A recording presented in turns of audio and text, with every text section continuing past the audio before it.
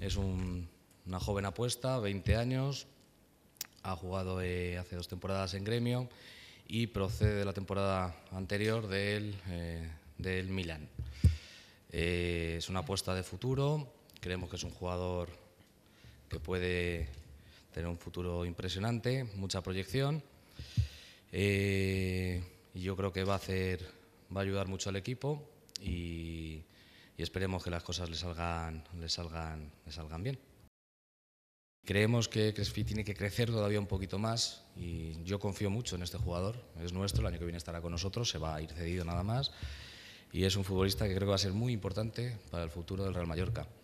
Pero creemos que tenerle ahora eh, y no darle minutos no tiene ningún sentido. Preferimos que se fogue un año más en segunda división y que el año que viene venga preparado para hacer un, un campañón.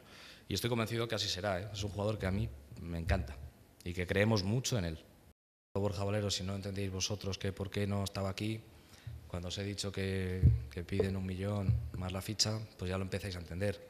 Y vosotros tomaríais la misma decisión que yo, decir, oye, esto no se puede hacer. Y eso sí que lo quiero dejar claro, que, que determinadas decisiones que se están tomando, pues se están tomando por, porque queremos trabajar de manera mm, como se debe trabajar. No podemos estar tirando el dinero. No con esto digo que los anteriores lo hiciesen, ¿eh? que, no lo sé, eh, pero tenemos, que, tenemos un club con unos recursos, son los que son.